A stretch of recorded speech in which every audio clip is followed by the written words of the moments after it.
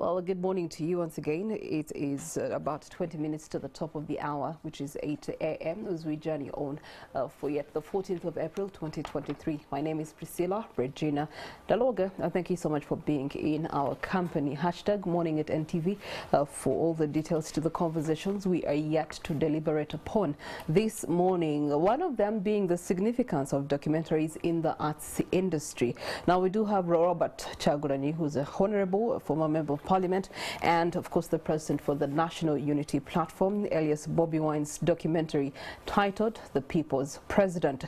It scooped two accolades at the Millennium Festival Awards recently, and the documentary won the International Competition Audience Prize and the Best Film on Human Rights categories in this year's festivals that took place last Saturday in Belgium. Now, Bobby Wine has used this his music to fight the regime led by Yoweri Museveni, and this particular film has acquired the National Geographic following its premiere at the Venice Film Festival, bringing this into aspect. The film, directed by Christopher Sharp and Moses Bwayo, and produced by Sharp and Oscar winner John Battsek, follows the attempt by musician Bobby Wine to topple the regime, which is something that we are all familiar with. Now, how the two met, the producer and the person himself, well, they met back in 2017, just after the musician had become a member of parliament through a by-election for Kyaddondo East. Now, I'm joined by Andrew Kaggwa, who has been following these events time memorial, and of course, later on, we will be joined by another pundit, who's a documentarist, to help us understand how important arts is in influencing what happens in our country. Good morning to you, Kaggwa. Good morning. How are you? I'm good. Now, let's first uh, start by understanding what a documentary is. What's the difference between documentaries and short films? Uh, one, there are short documentaries. Uh, there are short films, which uh, short films is necessarily any thing of motion picture that's below mm, below it's usually been 40 minutes but people are making them shorter these days. Mm -hmm. yeah they, they're almost putting a cap of uh, 15 minutes but it's supposed to be 40 minutes. Uh, well short minutes could be real could be fiction and it's the same thing with features. Uh, now the difference that there is with documentaries is that uh, documentaries are non-fiction stories that are captured on video. They they are captured at times in real time or at times in a form of people telling history but these are real events it's they are not being acted of course today more forms of documentary films have come up uh, there are docudramas uh, documentary dramas are not necessarily dramas mm -hmm. but it's dramatizing a documentary film, like some of the parts that were not recorded are reenacted by real life people.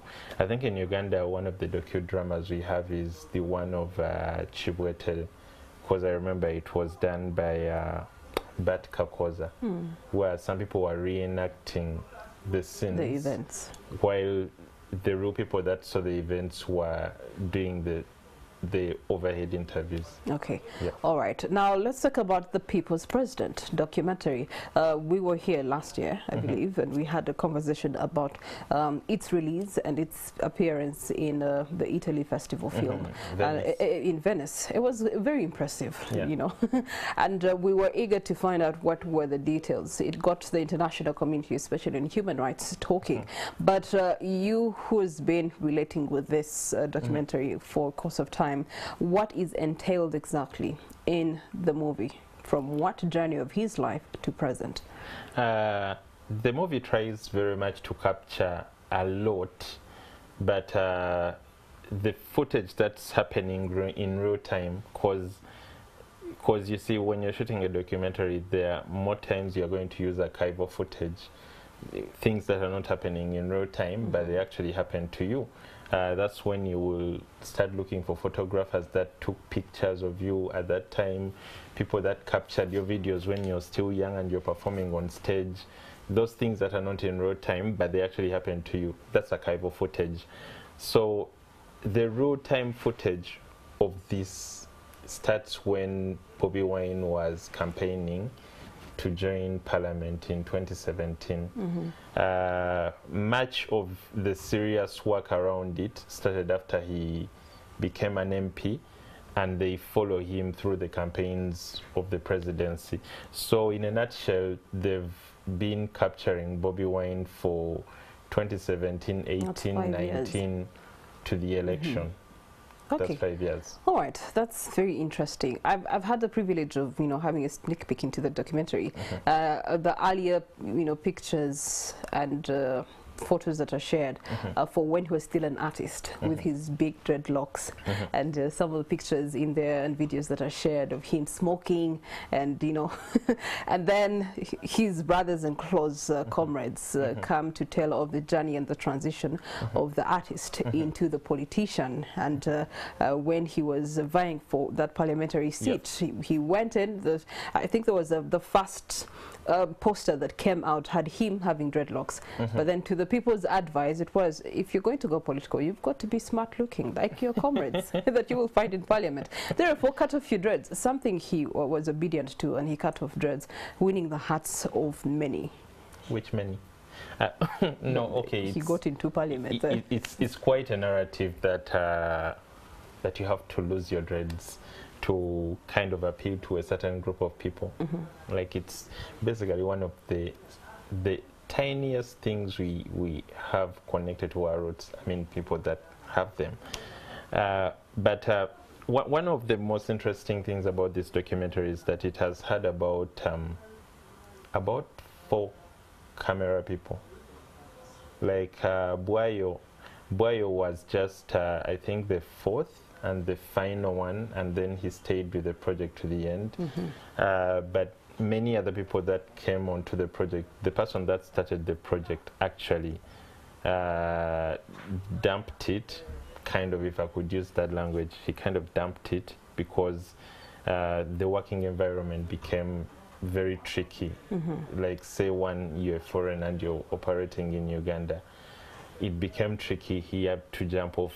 A second one came, a third one, and then Bwayo. And then, of course, even with Bwayo, there were some challenges. Like, there was a time, I think he was arrested when he was still doing this documentary that like work had to stall for some time but yeah going back to, to the question of um, him cutting the dreads off and winning the hearts of the people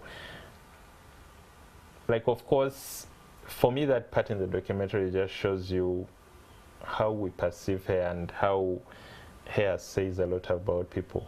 Uh, and in, in africa i think it's a very very big deal. For instance you could look at dreadlocks and you're thinking when you're arrested in uganda the very first thing they will do is cut off your dreadlocks. Oh as, really? as if they, they the dreadlocks committed the crime. Yeah. it's the very first thing they would do and then when police finds a group of people together the very first suspect they would think will be the person with dreads. And yet they forget that the person with dreads has actually never been to jail because he has the dreads. Like you guys cut them off. So like if I was in the shoes of the police, I would I'd actually be looking at the person without dreads. Mm-hmm. They are possible culprits. Probably they've been to jail once, and that's why they do not have hair. But they usually look at the person with dreads. So maybe for this documentary, that's why it was a very, very important part of them showing that like he actually had to lose his look mm-hmm.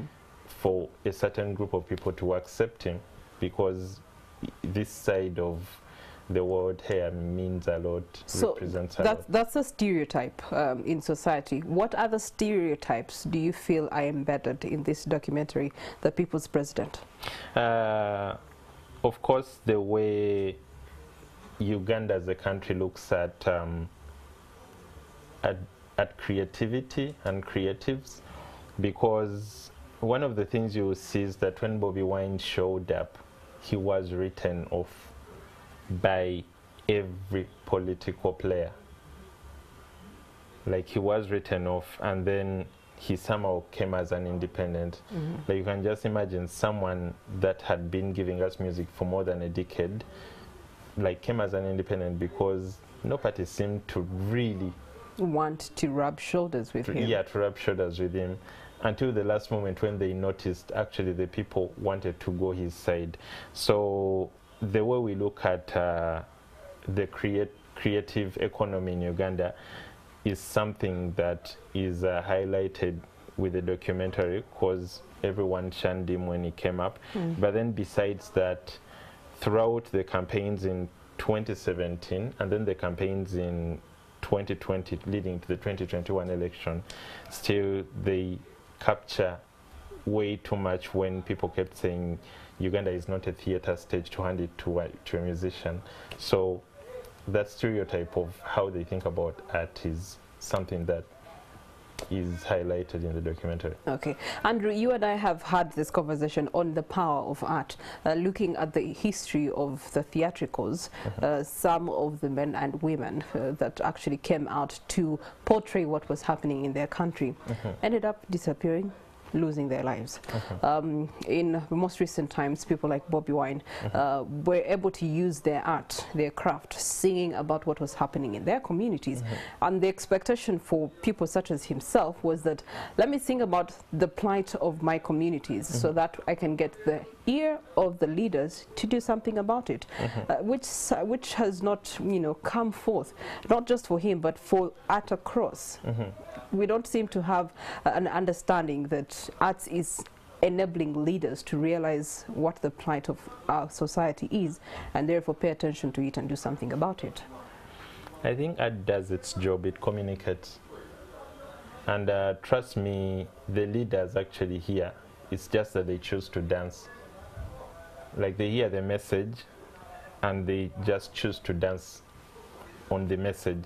And it's not only happening in Uganda, because uh, I think in uh, Kenya, uh, Eric Omondi, the comedian, has decided to take to the streets.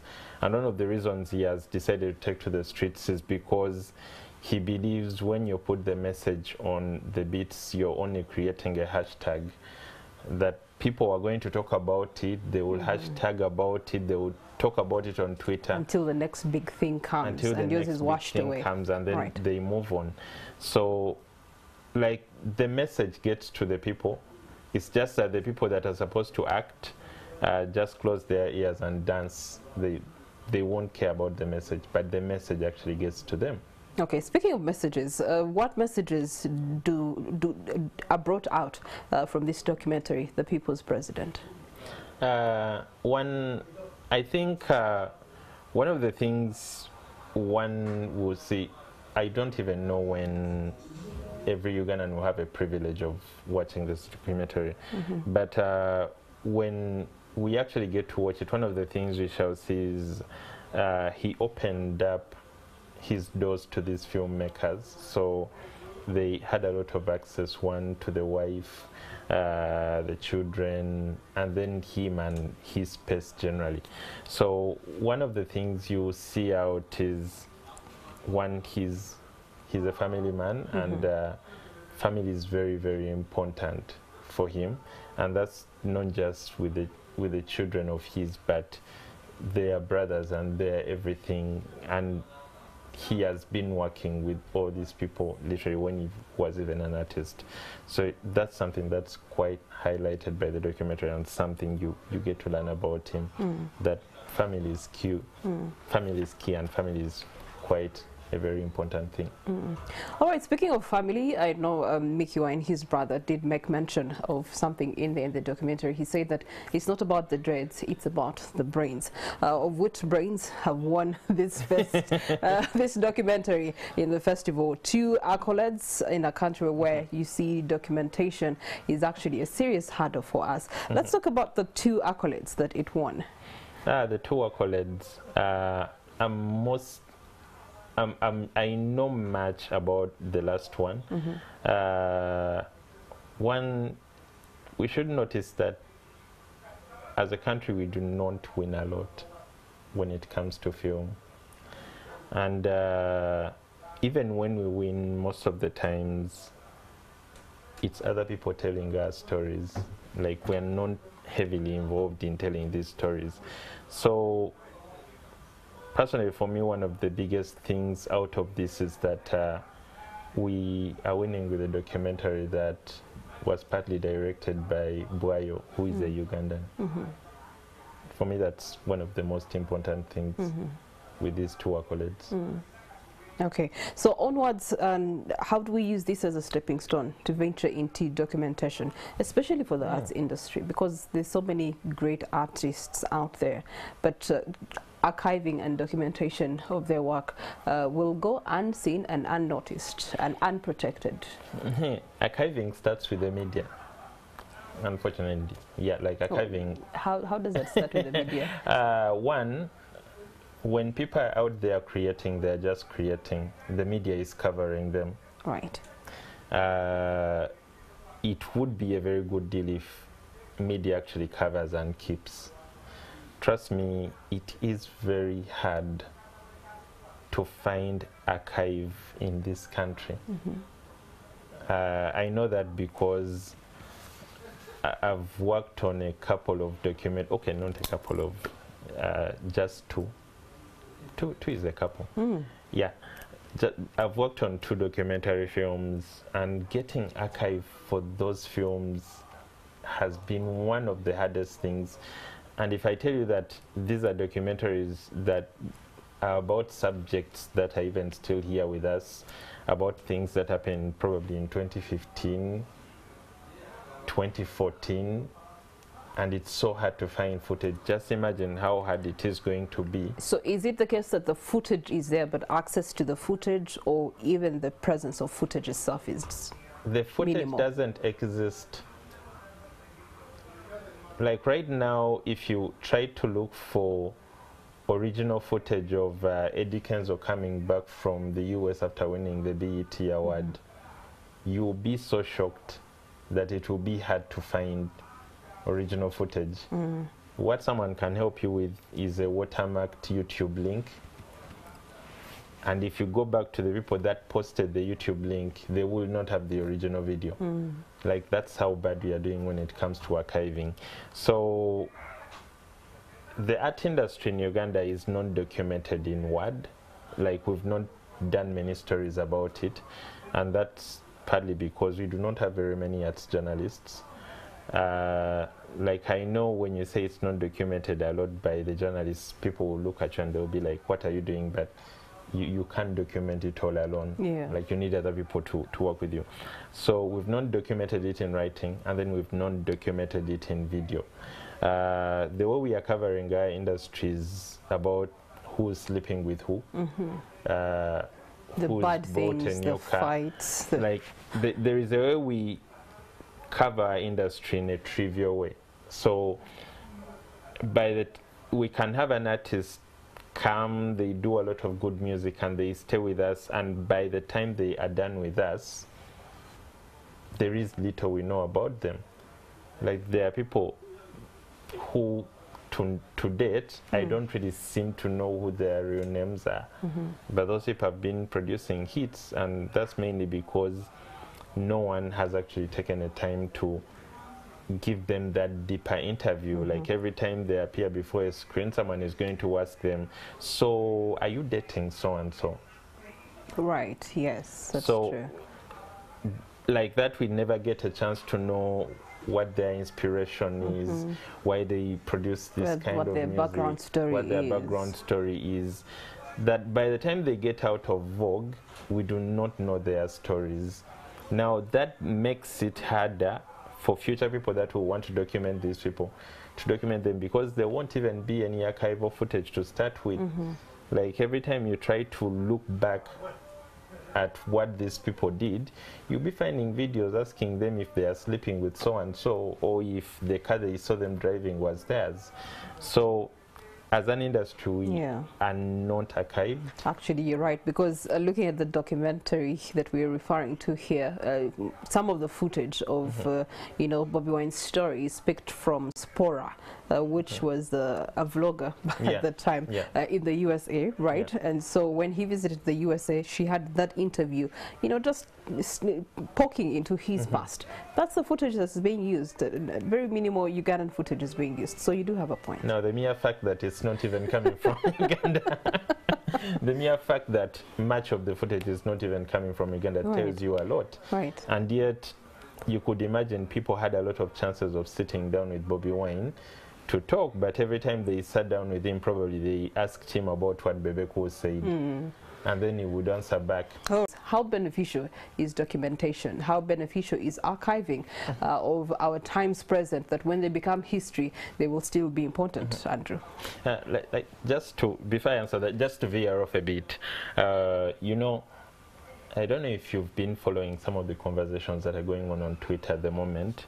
Uh, there is a very big argument between, of course, we who people call conservatives and other people because um, I don't know if you've heard uh, Watoto is trying to remodel their Yes, building. yes. They're trying to put up a On new one Kampala Road. on Mm. Kampala Road. And um, one of the things that wa- my argument was I do not really care about them tearing it down and putting up a new one, Mm-hmm. but I care a lot about them keeping the face of this one, Mm-hmm. much as the inside can be different because the face of this one is part of Uganda's history. History.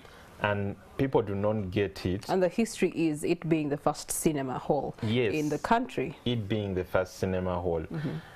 So people do not get it because I think as Ugandans, many of us are very uncultured. We do not value history. We do not value maintaining it or keeping it. So how that ties into archiving, Yeah. like I think it comes down to how we as a people. Uh, the mere fact that we do not read a lot, the mere fact that uh, we see a book and uh, the very first thing we want to do with it is take a picture with it and actually read the book says a lot about us.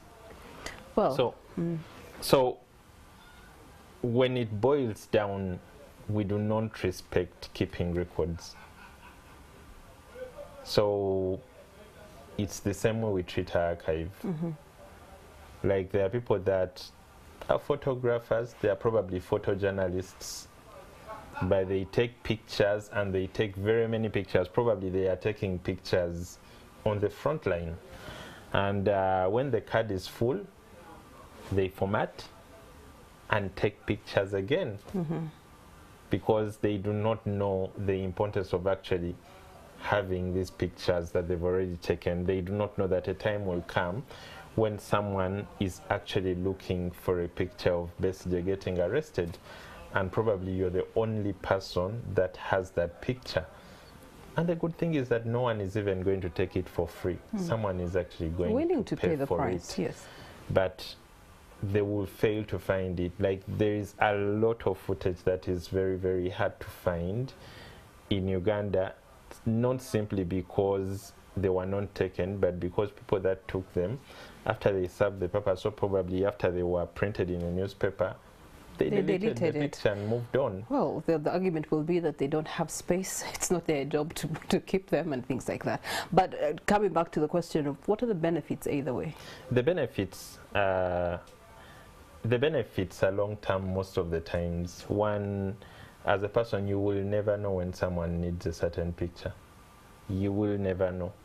And most of the times, by the time they get to you, they've moved and moved and they are willing to pay the price. But uh, for the country, as a country, you as a society, you as a people, you cannot plan for the future when you do not know your past.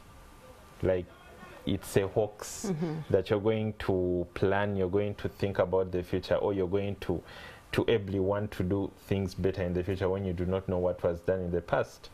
I think one of the issues we are struggling with when it comes to music is do you notice how a lot of Nigerians are starting to borrow from their older music when they are producing music? How Americans are borrowing a lot from their older music when they are producing music? How they are sampling each other a lot? And in Uganda, we rarely do that because there is no music There's no foundation for appreciation. the music has been done, but after some time, the producer will delete the originals.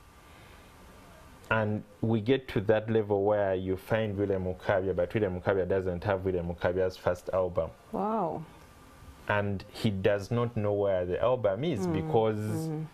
And he even did- if he was to trace, probably the producer at the time has passed on. or, Yes. like, yeah, things have happened in between there. So it becomes for us, it becomes hard for us as a society to keep going forward. It's like every time Hmm. we are building afresh. So for me, I would say that's the importance of archives. It's important to know that. Uh, let's talk about the professionalism that was aided in producing this documentary from 2017 uh, Mm-hmm. till it was released. That's a long time, five years of daily coverage, of covering uh, the different elements of his life that turned out to make who he is today. Mm-hmm. Um, in Uganda, do we have what it takes to produce yet another one of its kind Uh, without having to rely and call Bwayo all the time? Because anyway, one of the things I think uh, documentary films are very unrewarding. Like that's the truth. Uh, one, Ugandans think documentary films are boring, and I do not really blame them for that. Documentary films are not boring, though. Uh, it's the very first people that made us access documentary films that killed the vibe out of them.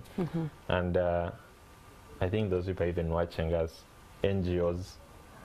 Like they had these documentaries that had what you would call poverty porn, like a woman with a crying child and And some flies all over some flies her. all over her, Yeah. and then there's all a voiceover like Annette wakes up every morning.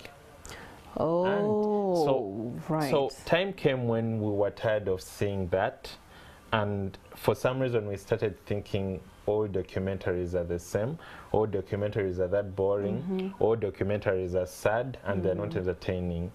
But uh, documentaries are more than that. Now, I, I don't even remember the question because the professionalism, do we have what it takes to produce more of these documentations?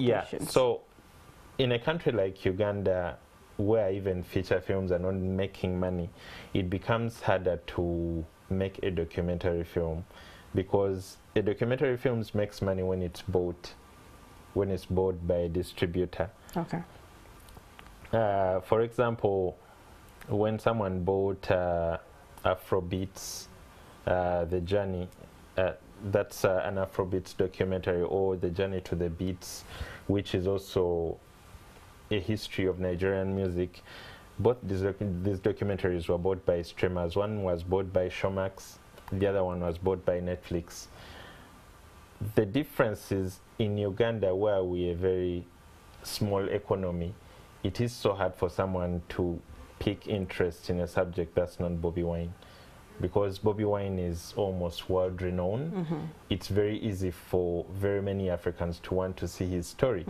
Uh, if I did a documentary, say, about uh, another Ugandan politician, regardless of how inspiring these people will be, it might be so hard for me to find a person that wants to buy the documentary. But then, of course, looking at the fact that Bwayo was working with a team of people that have experience, one either working as um, documentary filmmakers at a bigger level. Like, I do not know if any other Ugandan filmmaker will have that privilege, but most of the times it comes down to the subject matter, like how big is the subject matter marketable beyond Yes, the country. that's very true. Like the moment you have that, that, that would attract a click for the Yes. distributor buying it. the moment you have that, there is a way you will actually try to move on even without the money. I mean, there is a documentary about uh, Eliud Kipchoge. Uh, the documentary follows his training. You know, he did that um, marathon sub two hours where he ran for he ran a marathon for one hour and 59 minutes.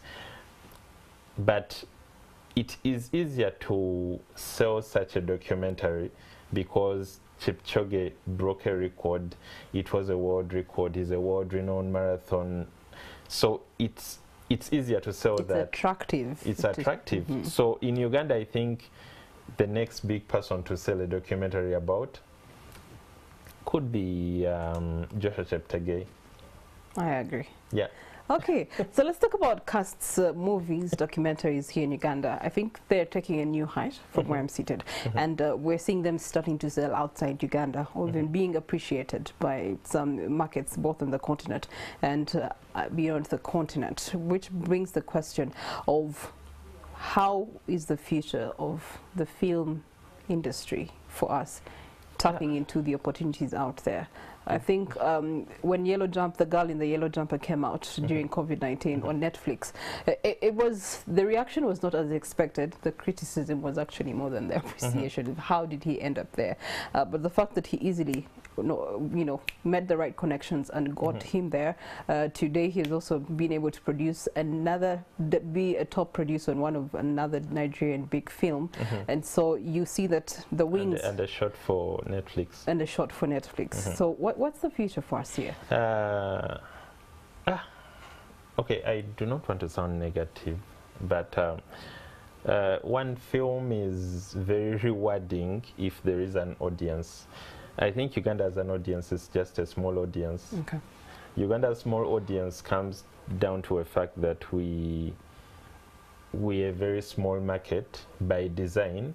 I say by design because Uganda is the size of the UK, or not the UK, but the size of England. hmm But England is a big market because by design they try to be a big market. How do you kind of create a big market? One, you make sure you do not have one center point. You make sure everything in your country is not happening in There are one many place. cities in You which, many of those many cities, there's uh, cinema halls in those Yes. cities, of which there's um, independent bodies that cater to those cinema halls the, and the more, appreciation the of more, arts. the more cities you have, or the more places that Yeah. have that are but empowered. I see in Kampala with our one capital city. mean that there are more people that will be empowered. Probably you've been in Kampala and you have NTV, but there is Gulu and they also have their NTV, Mhm. which is also doing big business, just like the NTV in Kampala. Right. So we do not have that as a country. So everything happens in Kampala. So when someone is producing a film or someone is releasing a film, one of the places they are thinking about where it's going to be is in Kampala. You're not thinking about it being in Gulu. I mean, I don't know if Gulu even has a cinema. Actually, I think the, the, the best that we have tried to see that do is uh, first stage a big concert here in Kampala, then you do the regional tours, so, Yeah. which they, but don't again, really even bring when back you, home when, you, when you look at the regional tours, I do not think people in those regional tours can give a musician uh, 50,000 per head. Definitely not. So the mere fact that that just shows you the difference. So yeah, we're a very small market by design, Okay. and because of that, we do not actually get a chance to to play bigger. So it's so hard for someone to invest a lot of money in a film because they will not get it back. Which means, as an industry, it's going to be so hard for us to break the ceiling when it comes to the money we are spending. Mhm. One, no one is going to spend a hundred million on a film because they are not going to make it back, whether they like it or not. And trust me, even if very many Ugandans show up to see that film, like it will be so hard for that film to make you that money back. Yeah, because I, I see it just best example would be the theater here. Someone has put out a play in the theater and they have you know printed many tickets, but you find one booklet is really tickets to give away for free, so Mhm. as to create quorum. yeah. Yeah. Yeah, so so it, it goes back like we, we are a very small market.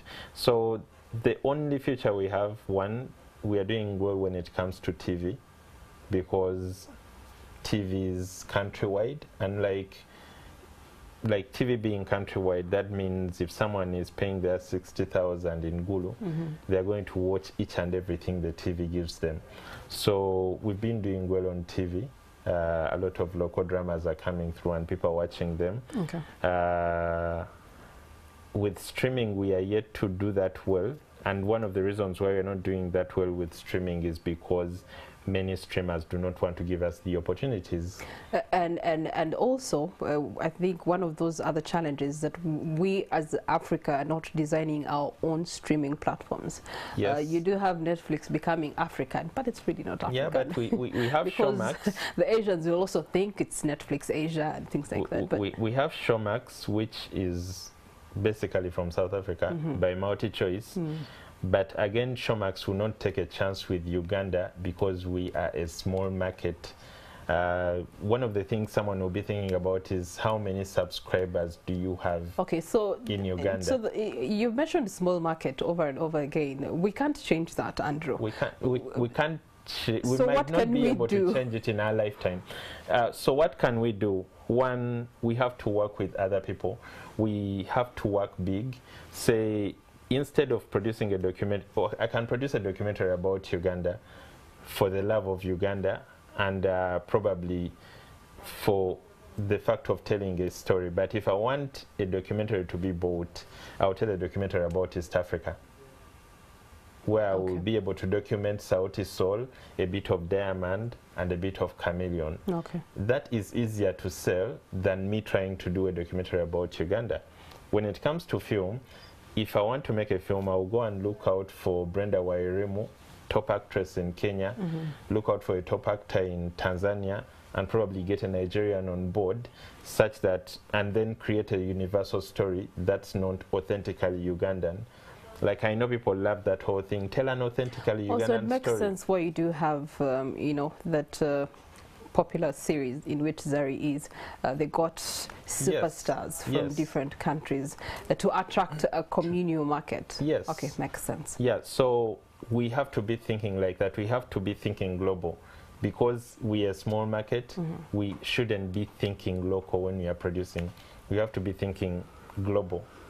All right, think big. Thank you so much, Andrew. So, in your closing remarks, significance of documentation and archiving in the arts industry moving forward. Moving forward, one, we need to tell those stories uh, in the easiest way possible. One, I think at the moment we do not have the resources to tell a documentary like uh, Tinder Swindler, but we shall get there. Uh, when we get the right story, there are some right stories that can be attractive to the global market. I mean, if there is one story that's grabbing the world attention at the moment, it's a local story from South Africa about this guy faked his death, then escapes and somehow gets arrested in Tanzania on Good Friday. That like, on any other day that would have been a local story, but the complexity around how he did it, like captures everyone. And even in Uganda as a country, I believe we have some of those stories. So going forward, yeah, there are some stories we have to tell. Like if it's a Philly Lutaaya story, we have to tell those ones for the love of documenting them. Uh, Elly Wamala's story, we have to tell those for the love of documenting them. And then, of course, please show up every time people have these documentary showcases. Personally, I run one. Uh, we call it the Documentary Showcase. Ali Mutaka runs one. It's called Kampala Documentary Film Festival. Like, let's show up for these things. Like, you'll be so shocked of how differently people are telling documentaries right now.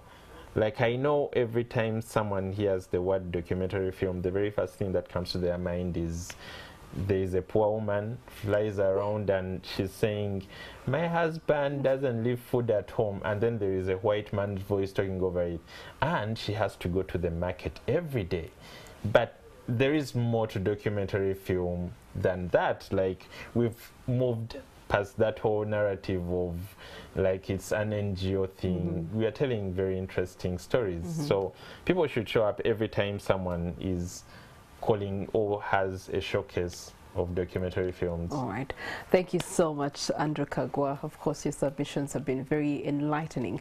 Uh, one of them being that we've got to think global. Let's work with other partners uh, from within the region or even the continent or even tap into um, the diaspora and find out people who are actually making things happen on the diaspora level because they have more skill, more exposure. Uh, add it with what you have, you can definitely produce something that can be attractive for the the international market as we have seen the People's President uh, this morning. Now, of course, speaking of the diaspora, we are going to be looking to the North American Ugandans coming together and we do have some aspirants that we're going to be talking to in regards to leadership for Ugandans living in North America right after this break. Stay with us.